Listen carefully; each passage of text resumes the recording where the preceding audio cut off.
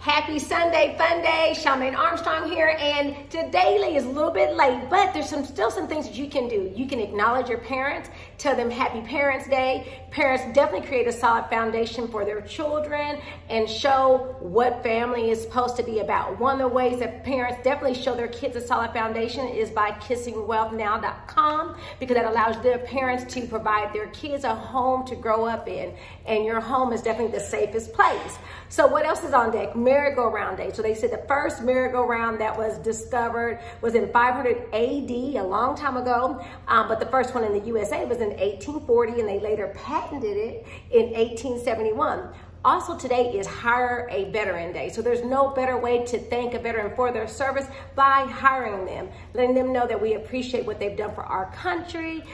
Again, do not forget to kisswealthnow.com. Go out and get yourself a hot fudge sundae because today that is today as well. Y'all have a blessed day and I hope to talk to y'all soon. Bye.